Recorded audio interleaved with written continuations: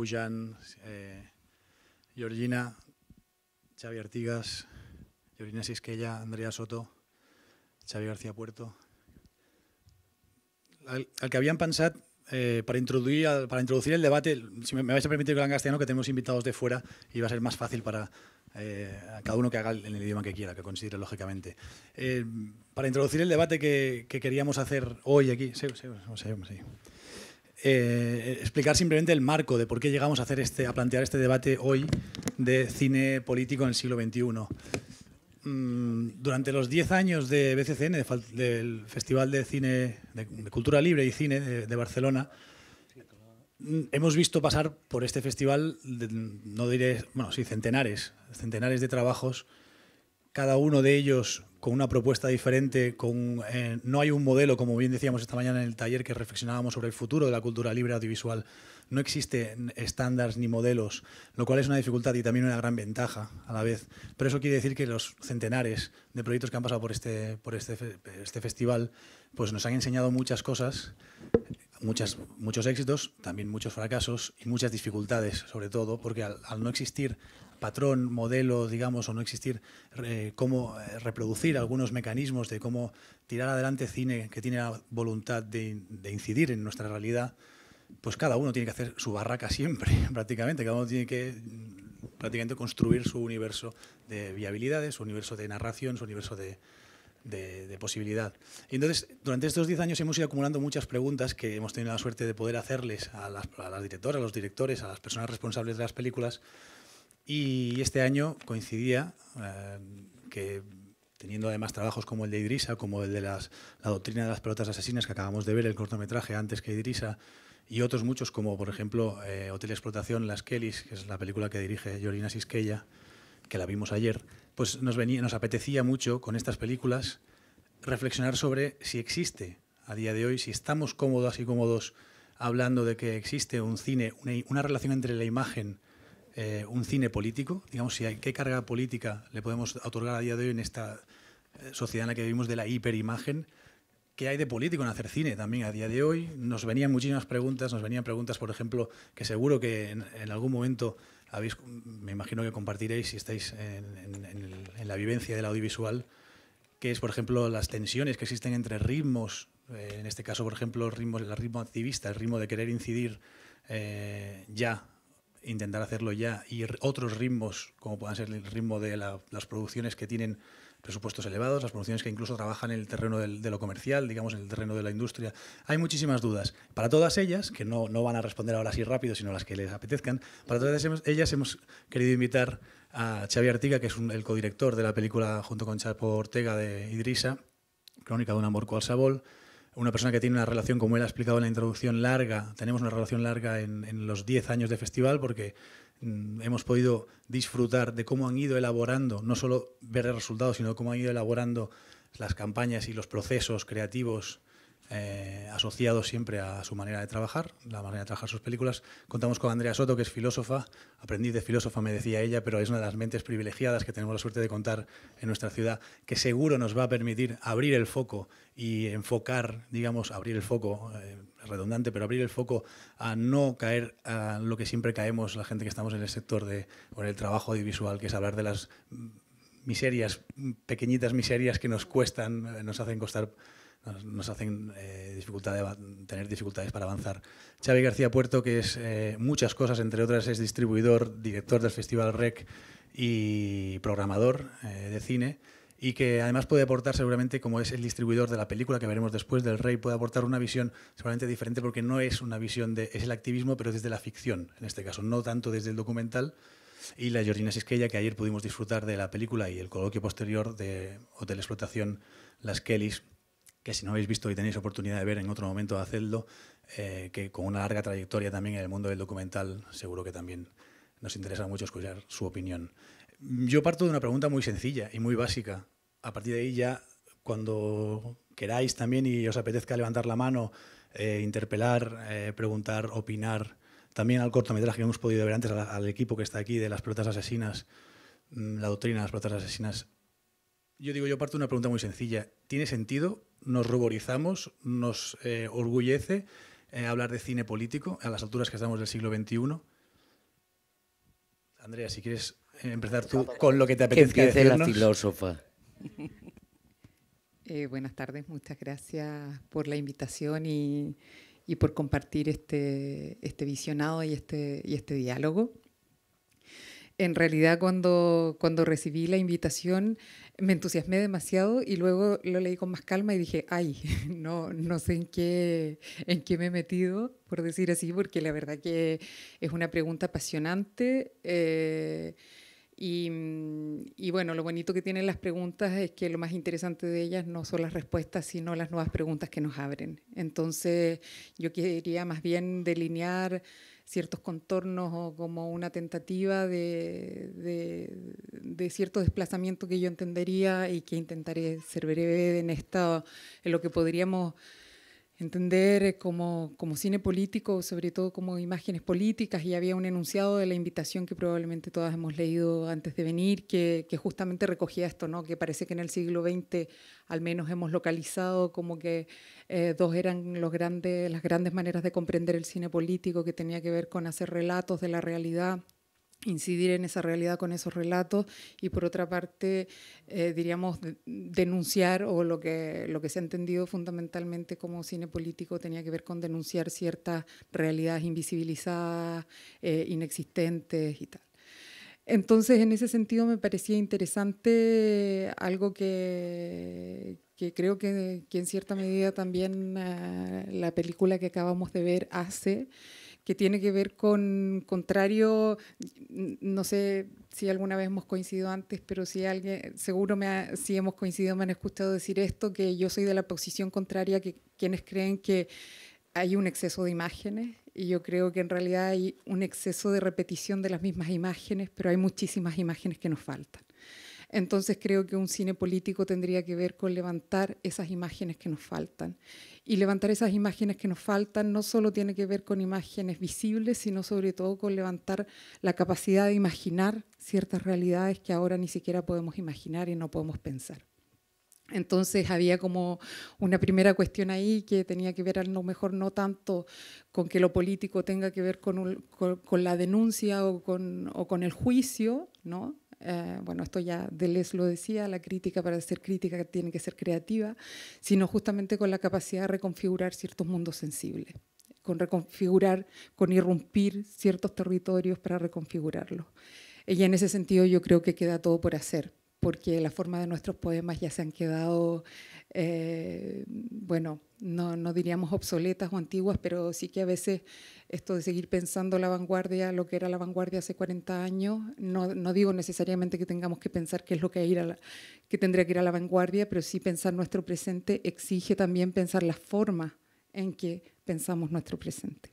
Y, y en ese sentido pensaba que las funciones de las imágenes, en la definición de los sentidos de lo común y del sentido por el cual una sociedad aprende a reconocerse a sí misma es fundamental, porque muchas veces o durante una gran época el lugar que se le ha dado a la transformación social tiene que ver con el privilegio de la palabra, siempre se habla que los movimientos de transformación son una toma de la palabra y yo diría que son siempre también una toma de la imagen, que si no somos capaces de levantar otras visibilidades, otros dispositivos, otras dinámicas en que ciertas realidades y ciertas relaciones puedan ser comprendidas, eh, cuando logramos hacer eso es cuando logramos levantar una imagen.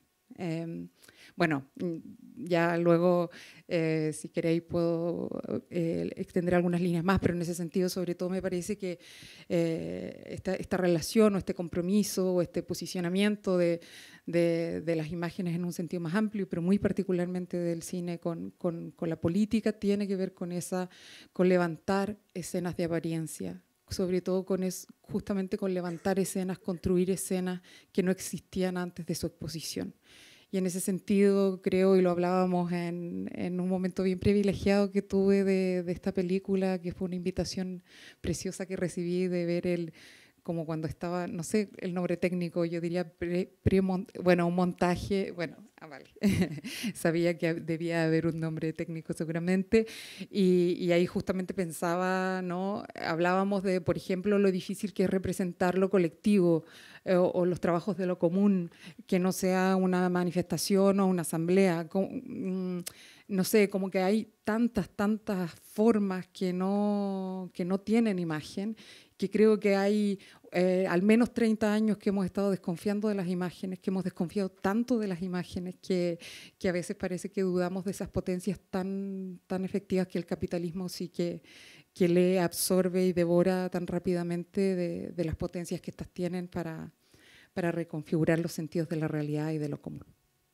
Bueno, no sé. Nos levantamos y Muchas gracias por venir. No, no, perfecto, muchas gracias. No, eh, no, no, seguimos eh, cada uno desde su praxis y su vivencia, evidentemente, aportando a esta pregunta de si mm, creemos que tiene sentido hablar de, relación entre, de imagen política a día de hoy.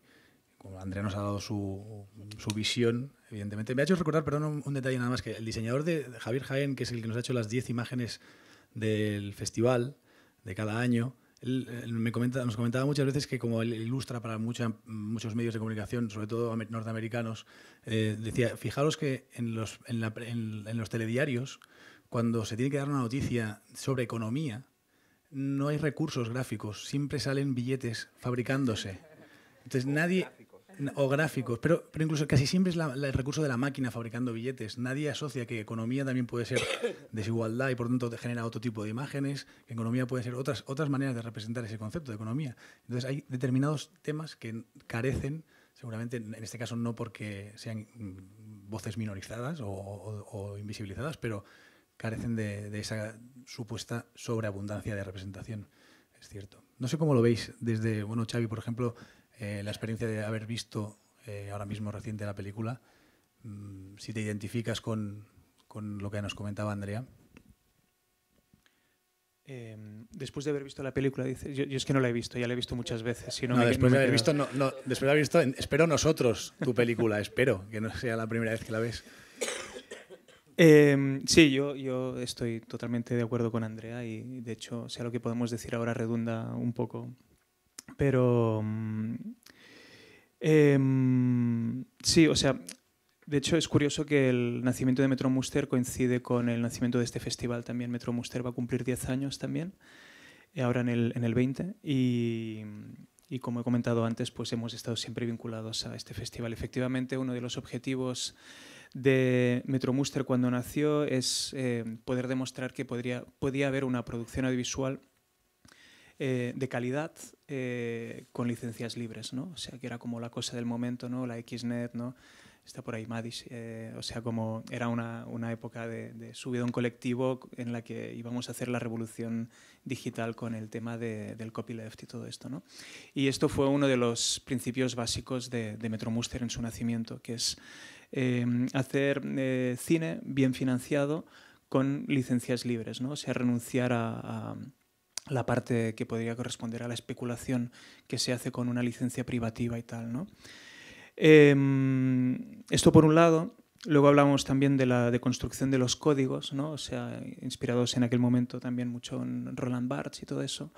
Eh, en definitiva, o sea, un planteamiento sobre, sobre la forma, ¿no? y también desde el análisis que el, el cine político, sobre todo el vídeo activista, ¿no? O sea, estaba muy codificado, ¿no? O sea, como que utilizaba siempre un lenguaje determinado y entonces queríamos también huir de eso para eh, abrirse también a nuevos públicos y, plantear una transformación desde la, desde la forma, ¿no? Em, luego queríamos demostrar que em, eh, se puede salir de la precariedad eh, haciendo cine político, ahí mal, porque nunca hemos salido de la precariedad y seguimos allí. Así que allí, o sea, no, eh, los otros más o menos sí. ¿eh? Y luego, por último, eh, lo de trabajar desde las comunidades afectadas por las problemáticas que nosotros queríamos contar en nuestro cine político. Es decir, que el propio dispositivo sea también un, un, mecanismo de, de transformación. ¿no? Em, bueno, o sea, en esta aventura llevamos 10 años, o sea, en algún momento pensábamos que éramos súper pioneros en lo que estábamos haciendo, ¿no? Y con todo el subidón yo me puse a investigar a nivel, o sea, yo no estoy vinculado a la academia, pero o sea, a nivel así privado me puse a investigar un poco y me di cuenta de que todo esto en realidad eh, no solo está inventado, sino que se inventó hace 100 años, ¿no? Es decir, que Em, nada de lo que estamos haciendo es nuevo. ¿no? Sea que cuando hablamos de cine político en el siglo XXI, sea, nada de lo que estamos haciendo es, es nuevo. ¿no? O sea que coincide casi con el nacimiento de, del propio cine. ¿no? Em, yo lo, lo, separé como en tres bloques, ¿no? esta pequeña investigación, eh, en las que detecté, o sea, de entrada, el cine que provoca transformación social a través de su contenido. Es decir, tú haces un relato de algo político, la gente se ilumina y esto eh, provoca cambios en la sociedad, ¿no? O sea, como lo más básico.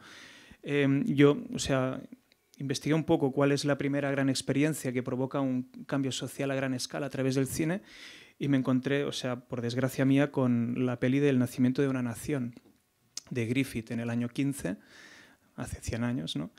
Que provocó una afiliación, una afiliación masiva al Ku Klux Klan. ¿no? O sea, después de esta peli, eh, millones de personas, creo que son dos millones de personas, se afiliaron al Ku Klux Klan y además eh, los productores habían previsto que en la película pues, se utilizaban unos vestidos que en realidad el Ku Klux Klan nunca había utilizado, pero se promocionaron a través de la peli y en una acción de, de, de marketing eh, tú podías pedir este vestido y te lo mandaban a casa. ¿no? O sea, y, entonces de ahí sale el, atuendo del Ku Klux Klan que conocemos hoy en día, no es nada más que una imitación, bueno, esto es cine de transformación social, en esto estaremos todos de acuerdo. ¿no? Eh, respecto a lo que hace el, el, contenido, pero luego hay la voluntad de transformación social, y esto Andrea lo cuenta con palabras mucho más bonitas que yo, pero eh, a través de, del planteamiento de la forma, ¿no? O sea, tú lo llamas la redistribución de lo sensible, ¿no? O, o la reconfiguración, bueno, conceptos de Rancière quisiera yo que sea mío, pero la verdad es que para ser fiel la idea de la reconfiguración de lo sensible es suya y no a lo mejor tan pensada referida a la imagen, pero yo creo que ahí hay un campo amplio de, de trabajo. Pues esta es como la segunda experiencia que yo detecté que había también en, la historia del cine y ahí también me encontré que no, era nada nuevo, o sea, lo de, de, constru de construir los códigos y esto de, que hablábamos nosotros en el, en el 2010, pues en realidad se llevaba mucho tiempo haciéndose.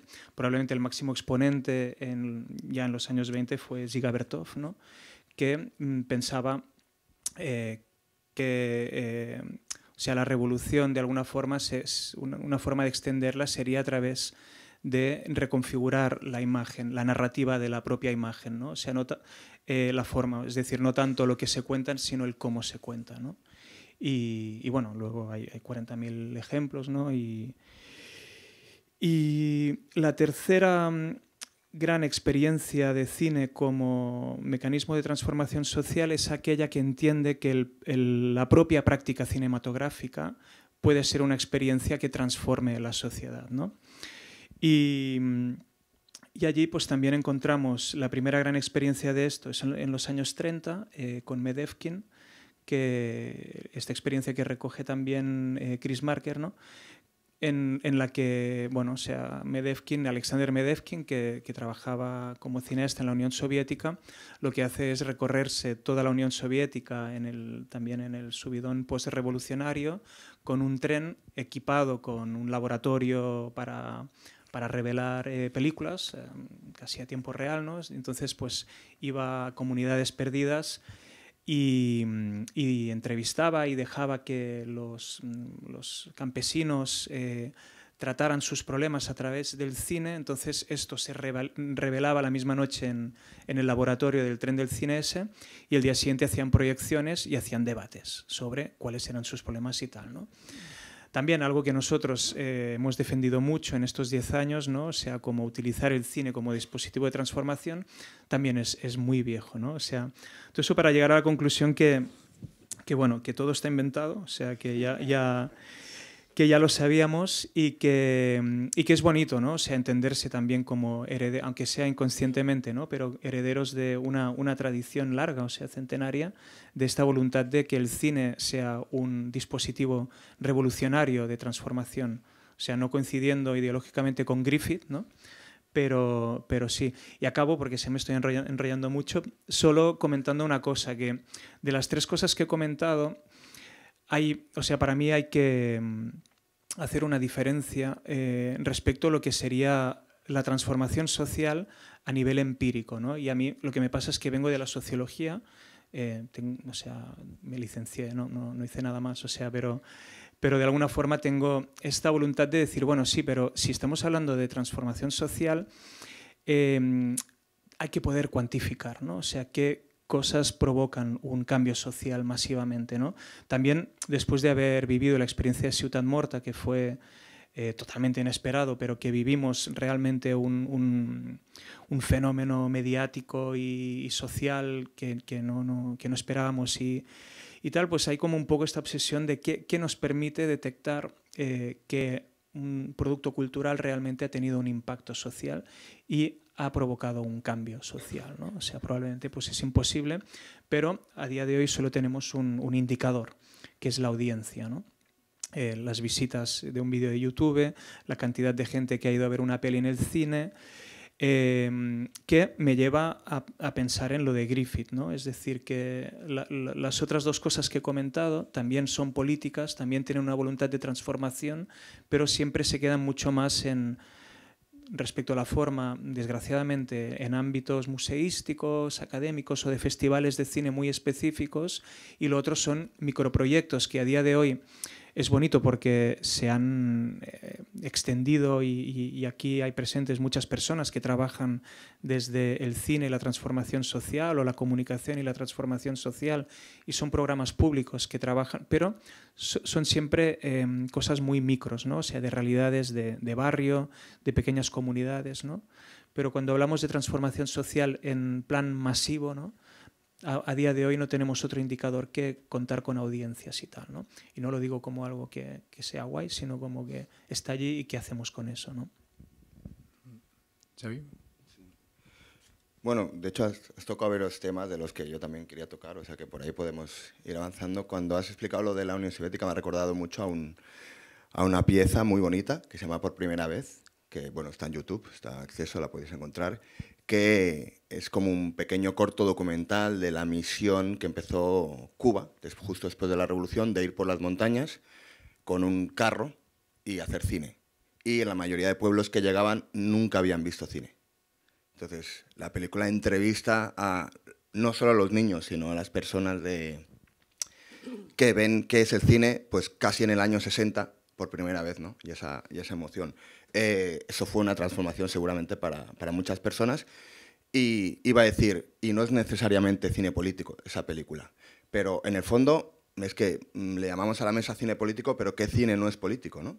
Es como en la vida, ¿qué no es político? O sea, hace poco se hizo público ese estudio, que creo que de hecho lo hicieron dos de las más grandes mayores de Estados Unidos, sobre eh, la evolución de la opinión pública sobre el resultado de la Segunda Guerra Mundial en Estados Unidos.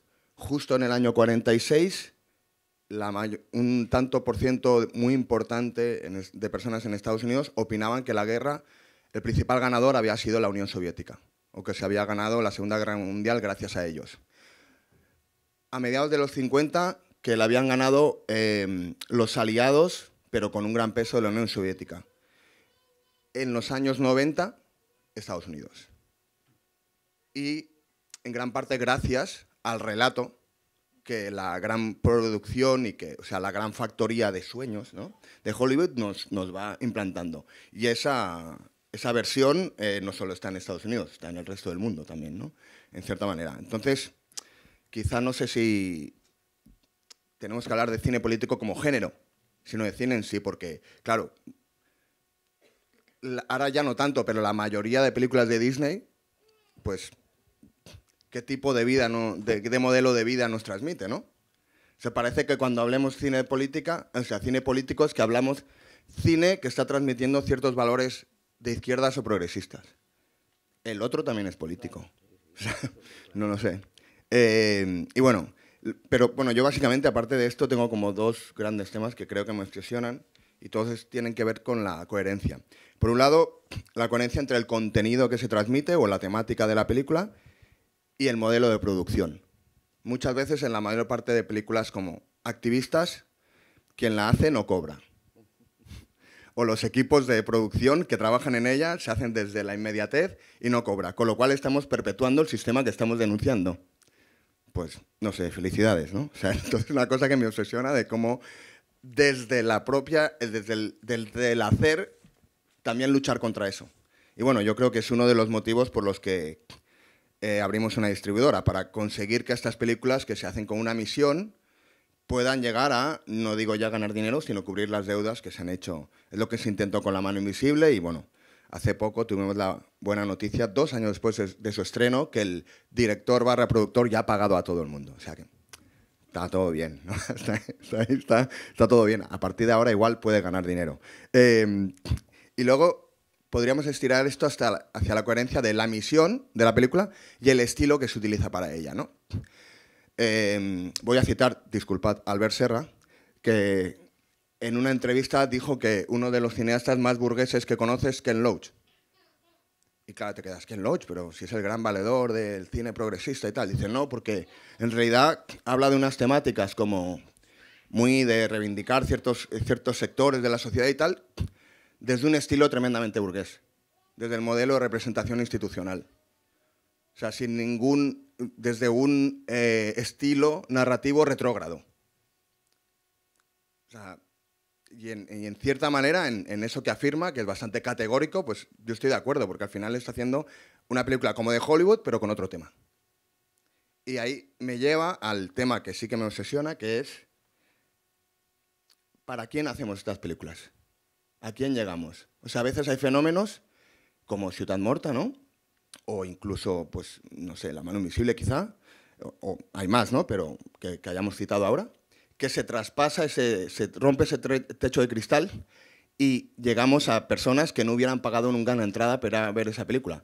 Pero muchas veces, la gran mayoría diría que lamentablemente, se hace cine para los ya convencidos. Es decir, ¿cuántos votantes de Vox hay aquí? ¿A cuántos, mira, ¿a cuántos votantes de Vox va a convencer la próxima película de Ken Loach? No la van a ir a ver. Bueno, o sí, no sé, para quemar el cine, igual, no sé. Eh, y es algo que es para sentirnos mejor. O sea, hace poco una amiga colombiana me decía que en Berlín, que sentía, o sea, en, la Berlinale, que había sentido como el colonialismo más presente que nunca. Y claro, me dijo que al final eran eh, blancos, la mayoría de ellos heterosexuales, viendo películas sobre otros países y sintiéndose bien. Sintiéndose mejor porque estaban viendo desgracias que pasan en otros países. Y que,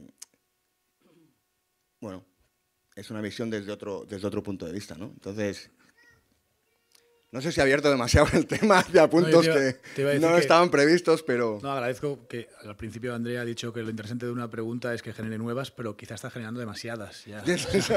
quizá estamos desbordando. no, no, está muy bien. Nos agradece mucho porque... Bueno, son dos cosas que siempre lo, pienso, ¿no? De hacer una peli sobre mejorar la vida de ciertos sectores de la sociedad, pero sin cobrar, y luego que esas pelis van a los que ya lo tienen claro.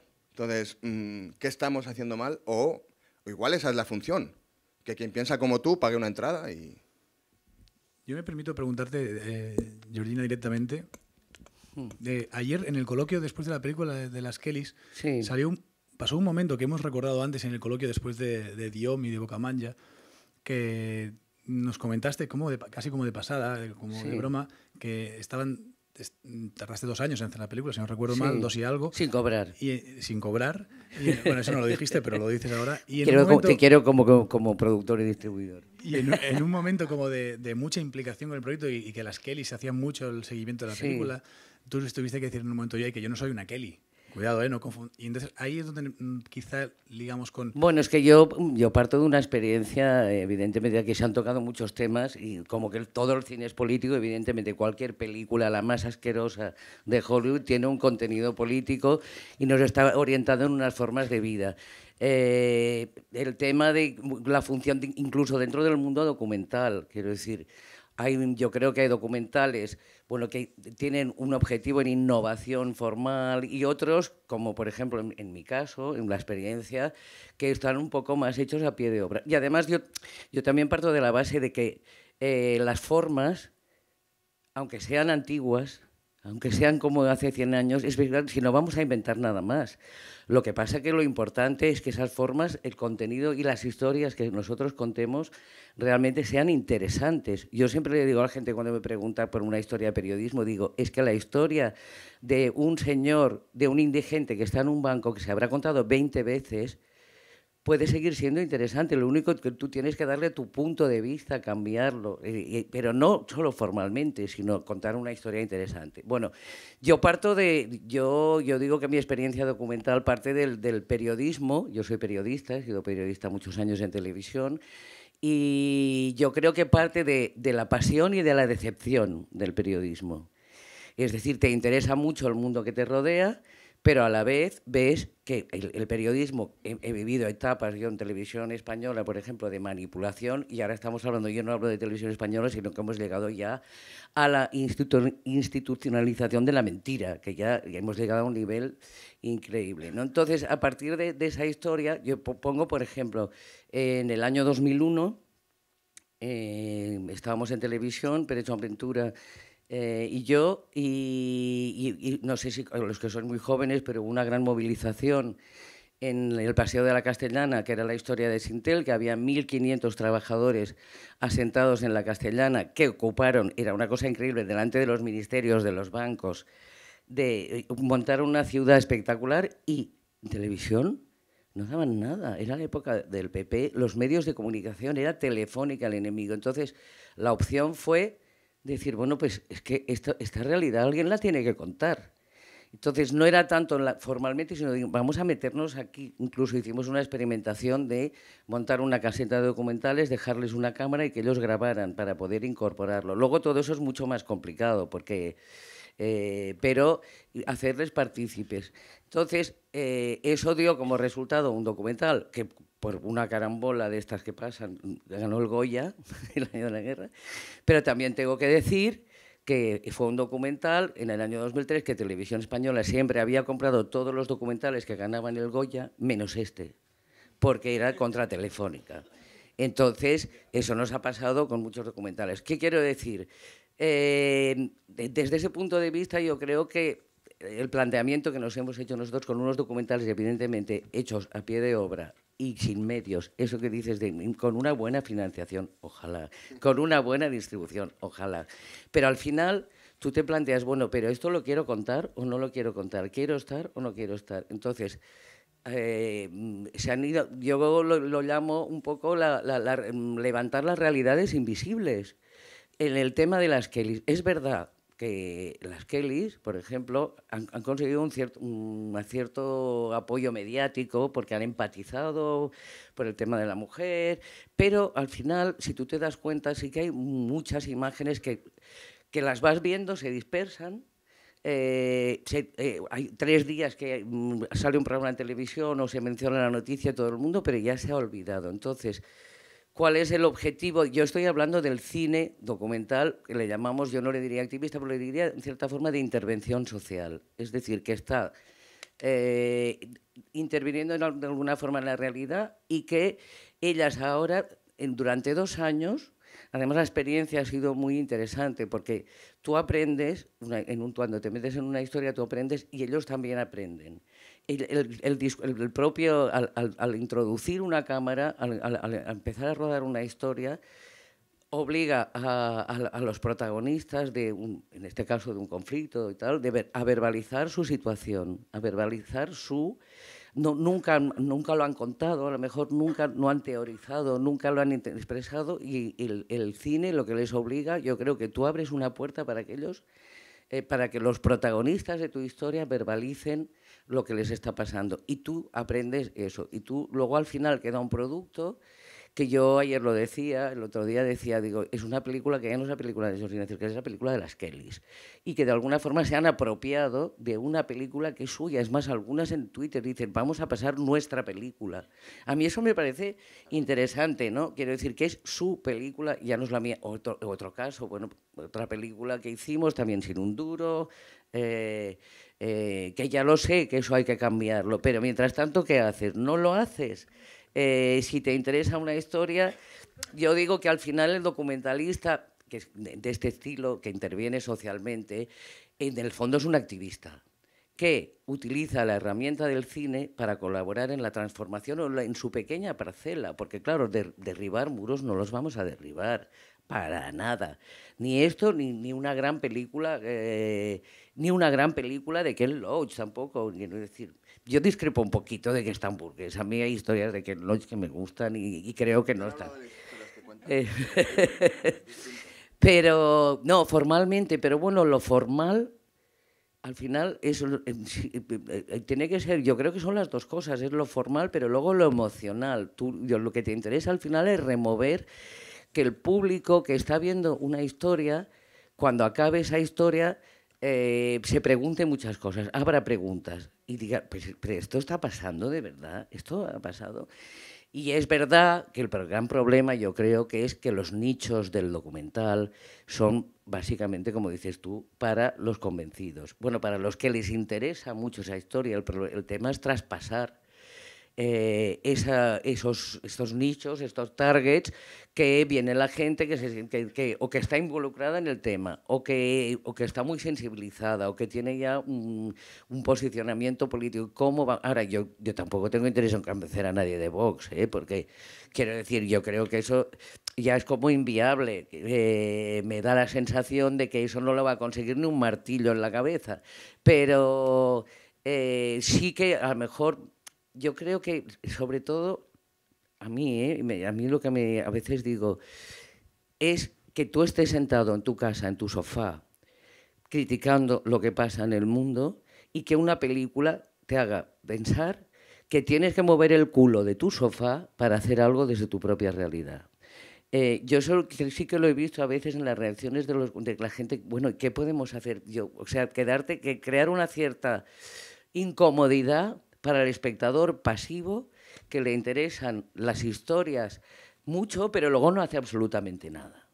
Porque claro, nosotros, yo me considero, pues eso, una activista del cine, pero hay gente que está en la enseñanza, que está en la sanidad, cada uno desde su ámbito, que le haga pensar que tiene que hacer algo, porque además no vamos a cambiar el mundo con un producto, ni con, ni con 10, ni con 20.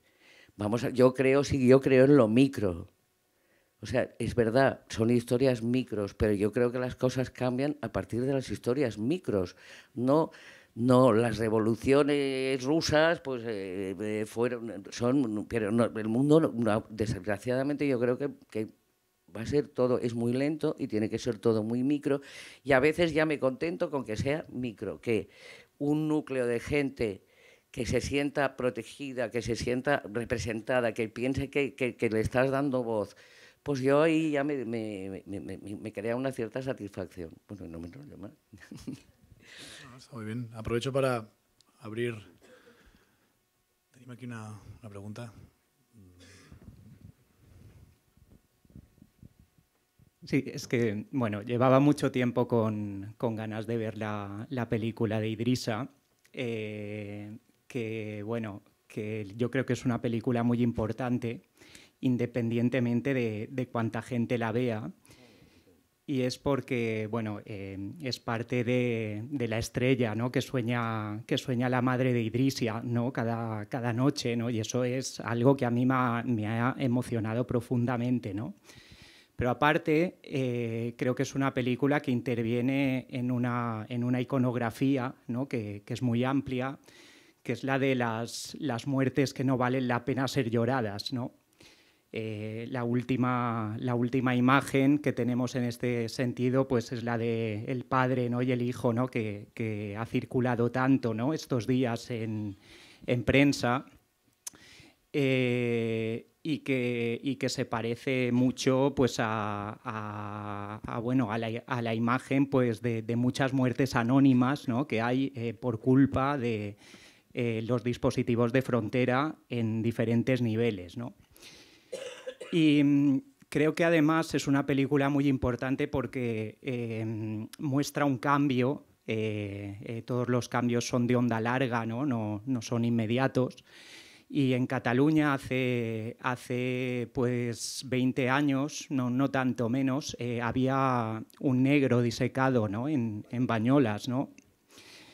Eh, hay una película ¿no? sobre la, repatriación del negro de Bañolas eh, que, fue, que fue esperpéntica, ¿no? y que, y que, bueno, y que es como objeto de, mucha guasa, ¿no? Y creo que, hay un umbral de racismo, ¿no? Que, existía en ese momento eh, y que si bien todavía hoy sigue siendo muy elevado, eh, ha reducido mucho y creo que, eh, la película de Idrisa pues es un signo, ¿no? Como, como también lo es que ya no esté Antonio López, ¿no?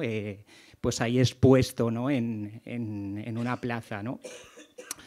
Mm, y, decía todo esto porque, porque bueno, porque creo que, bueno, eh, hay, hay, también un, programa de 30 minutos eh, sobre, el negre, sobre el negre de Bañoles, ¿no? Y es, es impresionante ver cómo, cómo bueno, eh, nadie, a nadie le importaba mucho ¿no? el hecho de, de que estuviese expuesto ahí.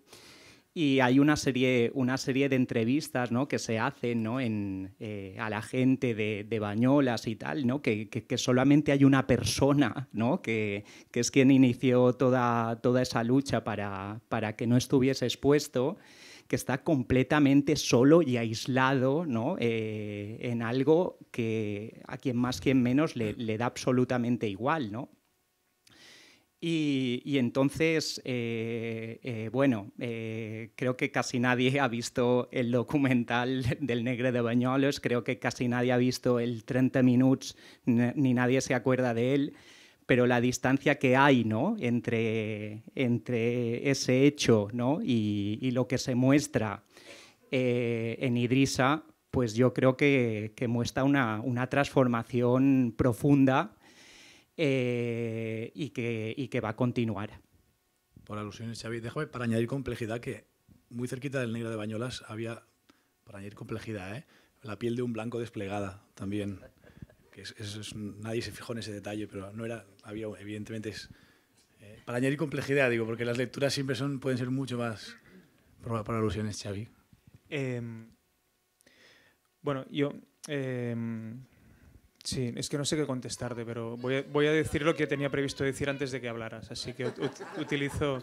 no, pero sí, sí que conecta. Mucha sinceridad veo yo aquí, ¿eh? ¿Y las formas dónde han quedado, Bueno, de hecho, hay una anécdota que no sé si Joan se acuerda, pero mm, cuando, o sea, hubo unas charlas en un espacio que había en Palaudar, en, en el Pueblo Sec, que se, llamaba, se llama un En Medio, que, que, que, yo, yo en esa época iba bastante, y Joan también, y creo que coincidimos en una serie de charlas que se hicieron sobre cultura, eh, eh, o sea, el estado de la cultura mm, en, en el activismo y tal, ¿no? Y, y, es de allí que, después de una serie de conversaciones, sale la idea de montar Metro Muster, ¿no? O sea, no sé si tú te acuerdas de eso, que estaba la gente de Wuzki de, de Navarra, bueno una anécdota para decir que nos conocemos desde hace mucho, muchos años y tal, ¿no? y, que, y que le puedo decir a la cara esas cosas. Pero mm, a mí, o sea, yo o sea, insisto un poco en, en, lo que había dicho al final de mi intervención, ¿no? o sea que me preocupa este conflicto que hay en cuando, o sea, hacemos cine con voluntad de transformación social, o sea, parece que eh, tengamos que hacer cosas que consigan mucha audiencia. ¿no? Eh, y conectando con lo que decía Georgina, ¿no? o el objetivo al final es que la gente levante el culo y vaya a hacer algo. ¿no? Pero ahí nos encontramos que para tener una gran audiencia hay que trabajar desde lo que Xavi estaba llamando el modo de representación institucional, que es lo que describe Noel Burg, ¿no? Em, que no es otra cosa que el eh, teatro burgués del siglo XIX, ¿no? O sea, que es esa forma de contar las cosas, ¿no? en la que ya todos estamos socializados y que está tan institucionalizado que es lo que hace que una película pues, nos haga mm, viajar, nos haga olvidar de nuestra realidad y tal, ¿no? Y esto ya en su momento fue subvertido por, por eh, Bertolt Brecht, ¿no? O sea, cuando empieza a, a, decir que lo que hay que hacer es romper con este, con, con, con, esta forma ¿no? para hacer reaccionar al espectador y de alguna forma también eh, transmitirlo lo político desde la propia forma y la deconstrucción de esta forma del, del teatro burgués del siglo XIX. ¿no? Entonces, ¿con qué nos encontramos en pleno siglo XXI? Que es que aún para ganar grandes audiencias y hacer que la gente levante el culo y haga cosas, ¿no? Tenemos eh, que, utilizar este modo de representación institucional, lo cual es, peligroso porque lo podemos hacer desde la izquierda, desde la izquierda radical, pero también se puede hacer desde, desde la derecha de, Vox o Em, y, vuelvo a Griffith, ¿no? es decir, que Griffith no hace otra cosa que trasladar las formas del, teatro burgués del siglo XIX en el cine y consigue que la gente eh, se quede tres horas mirando una peli y que luego salgan y se afilien masivamente al Ku Klux Klan. ¿no? Y entonces volvemos a lo que lo de Andrea del principio, ¿no? es decir, que la, clave es, para mí, está en subvertir la forma, pero cómo hacemos que esto Em, sea algo que, que acabe siendo un, fenómeno masivo, o sea, que salga de, lo experimental, lo museístico, lo académico, lo minoritario, ¿no? O sea, cómo hacemos, cómo generamos una, pedagogía em, con un tipo de lenguaje al que la gente, en definitiva, no, no está socializado, no está acostumbrado, ¿no? Y eso me lleva a una última idea, y ya me callo, que es que en este sentido creo que hay que diferenciar, porque hemos hablado mucho de transformación a través del cine, hay que diferenciar entre la transformación que puede provocar el cine y la capacidad que tiene el cine de emancipar al espectador, ¿no? que aquí volvemos a Andrea también o a Rancière ¿no? en, su extensión, ¿no? pero creo que em, el objetivo debería ser este, es decir, no, no, no transformar, no utilizar las formas que todo el mundo conoce para transformar, porque esto lo puede hacer eh, también eh, la derecha más rancia, sino hacer que el espectador, a través de nuestra producción cultural, se convierta en un ser más crítico y que por lo tanto tenga más herramientas para protegerse de determinados discursos. ¿no? Y para mí el gran reto del siglo XXI probablemente es este. ¿no? Andrea. Sí, yo... ¿Cómo estamos, no? Quería decir... claro, has puesto una filósofa en la mesa. Quería decir algo muy, muy breve solo. Y era que, bueno, es algo que digo, es como cuando uno tira la piedra y quita la mano, porque es algo que a mí en realidad me ronda hace tiempo y es sobre lo que al menos mis investigaciones en relación a la imagen, pero no, no voy a soltar ese rollo ahora, tienen que ver con eso. Y es como cuestionar una categoría que ha sido sacrosanta en todo lo que tiene que ver con la relación de la, con todo el pensamiento de la transformación. Bueno, todo es un exceso, pero con la mayor parte del tiempo de la transformación en los últimos años que tiene que ver con la categoría de acción. Hay algo, no, no es el momento tal vez para hacerme cargo de esta afirmación, pero hay algo ahí que vinculamos mucho. A mí, por ejemplo, esa, me parece incluso que podemos abrir la pregunta de cuál es la relación que hay entre que lo que vemos nos haga actuar ¿no? Porque hay un supuesto ahí que repetimos sistemáticamente, pero ¿cuál, qué, afirma que, que, veamos algo significa que, vamos, que eso nos lleva a actuar? Si ver no, no nos impone más sentarnos que una silla puesta allí. Quiero decir, hay algo ahí que, que, es una pregunta que a mí me ronda hace un tiempo y creo que en este sentido, em, por una parte, así como Decía Spinoza que no sabemos lo que puede un cuerpo, no sabemos lo que puede una imagen. Y hay un punto en que nosotros, y esa es la potencia para mí de las imágenes, que no sabemos dimensionar y no sabemos calcular las resonancias que generan y las transformaciones que generan las imágenes que ponemos a circular. Las operaciones de montaje de desmontaje, de abrir otras capacidades imaginantes, no lo sabemos calcular. Y es verdad que a lo mejor hay como un cálculo en un sistema de producción que se mide por la audiencia y que parece que tuviera que ver con eso, pero a lo mejor generan otros movimientos que son más como una corriente subterránea de la que probablemente nunca vamos a tener un cálculo que nosotros no sabemos dimensionar. Entonces, en ese sentido, yo me preguntaba, por ejemplo, eh, qué posibilidades abre que aquellos que no tienen derecho a ocupar el mismo lugar puedan ocupar la misma imagen, o con tu película, que puedan ocupar una imagen. O sea, la capacidad que ahí se abre, para mí, aunque la vea una persona, aunque solo la vieras tú, o dos, o tres, hay una capacidad que se abre que nosotros no podemos medir las resonancias de esa capacidad. Entonces, por eso es que creo que hay que seguir haciendo ese tipo de, imagen. La tremenda dificultad de medir la, la calidad o la, lo cualitativo y no exclusivamente lo cuantitativo, como decía antes Xavi también. ¿Queda tiempo para una última o dos? Si son, si son breves, quedará tiempo para las tres. Pero por favor pediríamos brevedad. Yo tenía una breve, la voy a soltar. Y como tienes el micrófono y organizas el festival, creo que Creo que nadie te va a decir que no, ¿verdad? Hablamos de poder, ¿no? Pues ahora tengo el poder y lo ejerzo.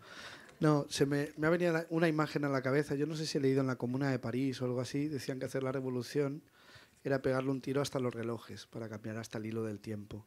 Cuando Xavi habla y dice, ocupamos la, la, estética del poder para, para, llegar a más gente y tal, a mí me resuena eso. Digo, mm, quizás nos estamos equivocando. Quizás le tenemos que empezar a disparar a los relojes para cambiar el hilo del tiempo, no sé. ¿Eso era una pregunta? Cuidado, que, que, que, él monta el chiringuito, ¿eh? puede, puede, decir lo que quiera. O sea que... En realidad, para eso hacemos el festival, ¿no? Para, para, para, para preguntar, ¿no? Porque después con, con cerveza más tarde eh, a veces resolvemos algunas cosas, otras no. Eh, no, reflexionaba con el sentido de que dicen que la memoria no sabe de fronteras, sino que sabe de caminos. Y que eh, en este caso en particular con Idrisa, o hoy, en, en lo que hemos visto de Dion Cop eh, anteriormente, es raro eh, para nosotros migrantes en, en, Europa que podamos ver materiales como las Kellys, por ejemplo, en un festival o en un espacio, en un lugar que no se vea como la National Geographic, ¿no? que, nos toman y, y, y, nos ponen en un lugar eh, y no en una composición. Hoy hemos visto cómo eh, compañeras y compañeros organizadas y organizados han podido transformar eh, con, claramente con cooperación eh, con más y con muchas ciudadanas y ciudadanos de, aquí. Cuando decía de no sabía de fronteras y de caminos, quería preguntarles cuáles podrían ser los caminos a transitar con, con estas imágenes que no solamente muestren cómo nos matan, cómo eh, nos asesinan, cómo, y, es, y esa repetición eh, de, de, atrocidades, sino también de ver cuáles son las potencialidades que tenemos. Algo que, me fascina, y con Xavi lo hemos charlado mucho, es el hecho de que Idrisa eh, muere en, el, CIE, nace, nacemos como, organización que nos reunimos, eh, tanquem les CIES, cerremos los centros de internamientos para extranjeros y, y después viene la, la, película, ¿no? Digo, eh, hay, hay, todo un, como un transitar y, y un camino allí eh, de recorrido y quería saber cuáles podían ser los... La pregunta, a lo mejor la podemos responder después, ¿eh? Porque me estoy extendiendo Buena mucho. idea. Perdón. No, no, buena idea porque no, no, vamos a tener tiempo de hacer larga respuesta que, responde, que, que necesita esa, esa, pregunta. ¿Cuáles pueden ser los caminos? Había una recordar? tercera para juntarla ya y, y, hacer una ronda final de Hacemos cierre. el festival para eso, ¿vale? Para, para preguntar. Y, bueno, me, me, han, me, han, dicho por aquí que sea muy breve. Yo no es por contradecir o cuestionar lo que se ha dicho ahí y por aquí, que, que, que, en el fondo estoy muy de acuerdo, quizás es simplemente para añadir complejidad y creo que a veces nos quedamos con esta cosa que la transformación solo pasa por, por movilizar masas o por llegar a mucha gente tal y yo creo que o por lo menos nosotros desde Kepo tra también trabajamos desde lo micro, es decir, o desde lo quirúrgico, ¿no? Cuando tú hablabas de Vox, de cómo llamamos a Vox y mañana, y que aquí meto cuña publicitaria, me, por, sale, eh, se proyecta Mujer 1, Mujer 2, Mujer 3, que, que es una película sobre trata, y ahí mm, nunca nos planteamos llegar a un festival. ¿Y, ¿Y por qué? Porque la película está pensada para eh, formaciones para policías y jueces y, tal, ¿no? Y, y, entonces ahí, por ejemplo, es un producto diseñado como para hacer un, bueno, un trabajo quirúrgico y transformar desde dentro justamente un público que nunca va a llegar a un festival o no se va a mover ahí, ¿no? Y el, la función de en, haber entrado aquí es casi colateral para nosotros, ¿no? porque el sentido de, de, del uso del audiovisual como herramienta de transformación pasa por, por, porque igual si no entra en ningún festival y no se ve y tal, o a lo mejor la liberamos y no se mueve mucho, pues al final da igual, porque se está utilizando y hace una semana, hace unos mes y pico, abrió una escuela de formación de Mossos de Escuadra y Guardias Civiles y hace unas semanas se proyectó en en la Comisión Europea en Madrid con, con gente del bueno, fiscal general. De, no, bueno, yo ahí me pierdo, la compañera Sonia mañana, que es la directora, también lo explicará, pero ahí hay una función de transformación yo creo que muy potente también, ¿no? que es ajustando mucho a qué público y cómo llegamos a esos públicos a veces imposibles. ¿no? Perfecto, hacemos, no vamos a tener tiempo de más preguntas, pero sí que para un cierre si nos ha provocado o tenéis alguna respuesta a Martina, a Fernando, a Pablo.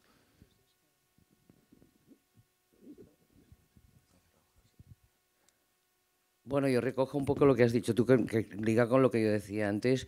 Evidentemente, em, bueno, aquí se han abierto muchísimas preguntas, porque además hablar de lo formal, del cambio de formatos, podríamos discutir luego mm, eso, ¿dónde, están las, dónde se ven las películas de Albert Serra, por ejemplo? ¿no? Quiero decir, ¿qué público tiene?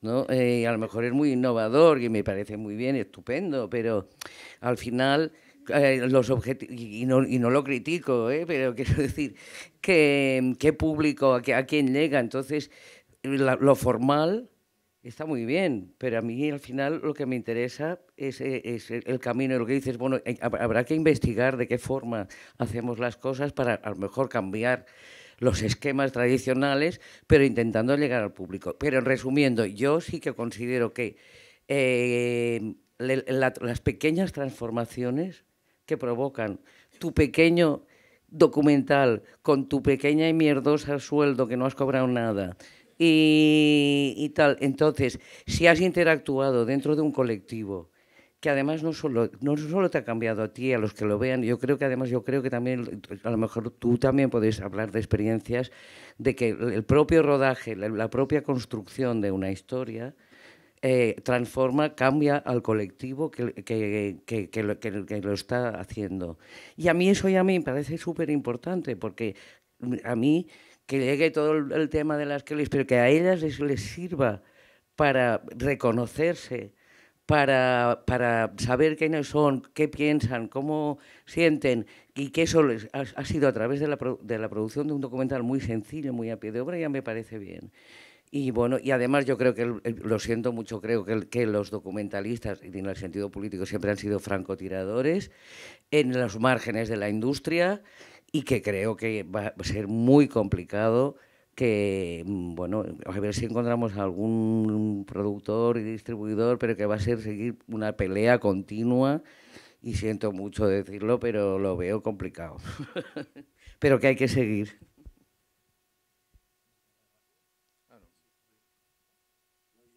No, yo solo decir, eh, a propósito que ha salido bastante lo, del detalle, justo lo decíamos antes acá, eh, una frase que es de Andreu, en realidad que, no, según Fernando es de Andreu, que del Dios que habita en los detalles, que era aquello que decía Barbour en realidad. Y, y, que yo creo que las últimas veces, las últimas palabras que he dicho han sido casi siempre las mismas, pero aunque no en toda repetición hay diferencia, creo que necesita oírse aquello que decía Malarmé de que tal vez ya no sea el tiempo de los grandes naufragios, sino de la sirena discreta. No se puede cerrar mejor. Muchas gracias. Gracias a los cuatro. Muchas gracias.